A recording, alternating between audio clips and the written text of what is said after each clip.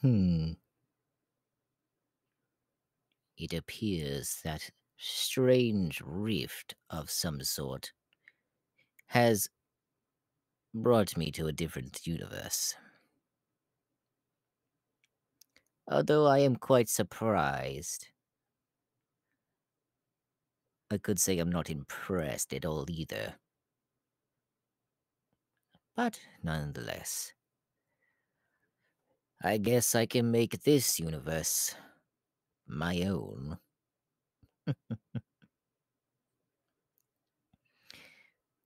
Unless there is some more powerful beings here. Although I don't sense any type of ki around. But I do sense a mortal. Show yourself.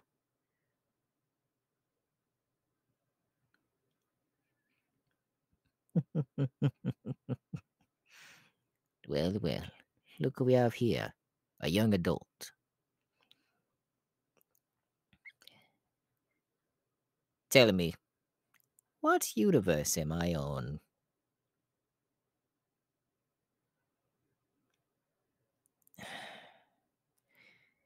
I should have never. You know what? Forget it. I have no time to waste here. As I have gone through that rift, I'm pretty sure more rifts are opening throughout universes. So, it won't be long until there's more people coming through that portal there. Am I evil?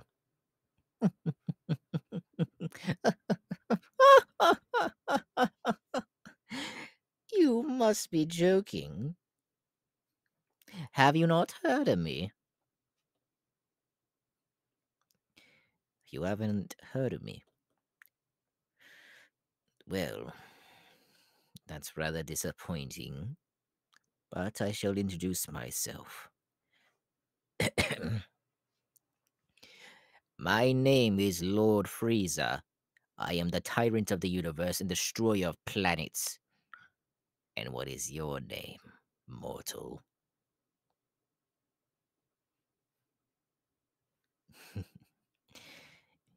it's a pleasure to meet you. But sadly, it's also going to be the last time I see you. Because I plan on destroying this planet unless there was nothing boring on here.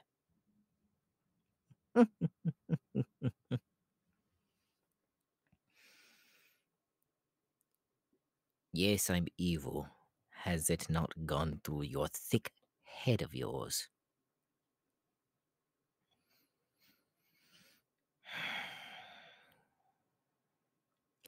You are wasting my time. Tell me, are there powerful people on this planet? Or is it just pitiful humans like yourself? Yes. Do you humans have powers here? That is what I am trying to ask you.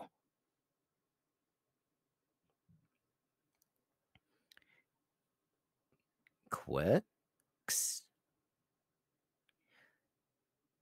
What is this quirk you speak of?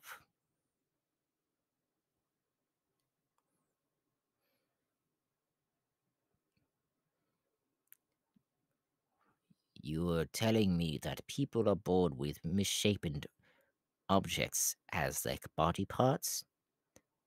And also just powers out of the blue. Hmm. This is a very unstable universe, isn't it? No matter. I think I can correct this universe with my own bare hands if I choose to.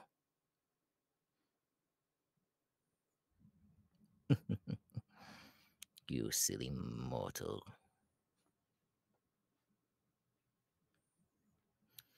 Well, before I was transferred here, I was giving myself the wish of immortality with the Dragon Balls.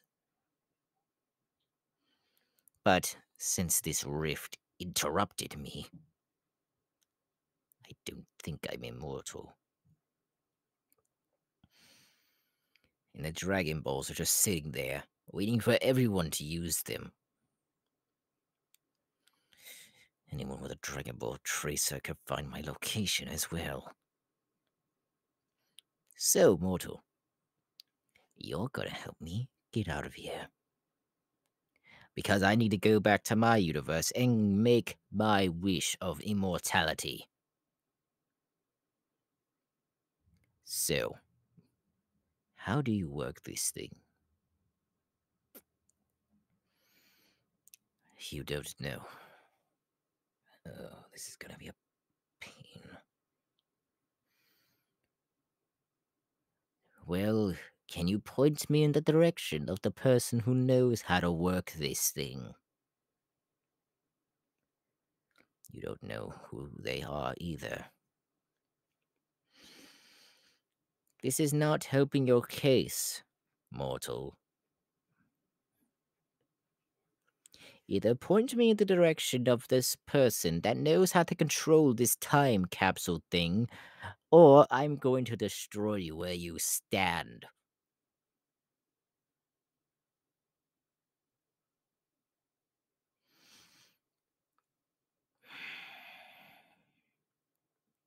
I can sense you're not lying about it. Great pain in my ass. Very well. I will be taking you as a hostage then. Uh, And until I can find the person who works this damn machine, I'm going to keep you as my own. Maybe even train you a little bit in my own workings. And maybe, just maybe, you might even surpass me one day. But that day isn't today.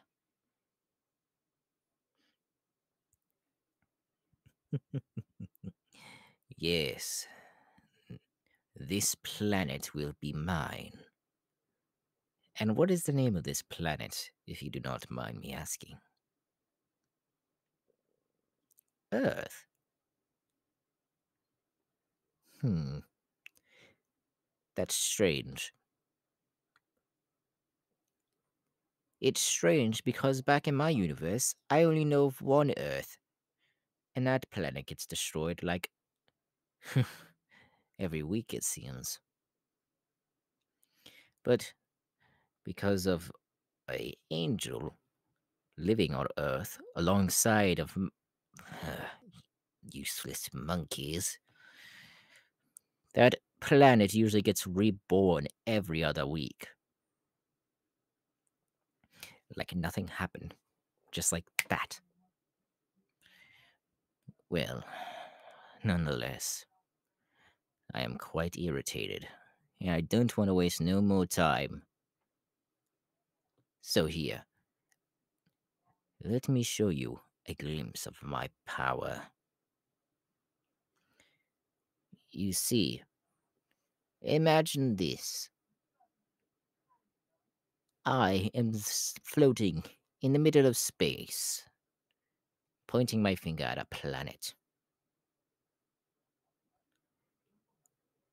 And then a strong beam of light comes from my finger. And I point it directly at the planet.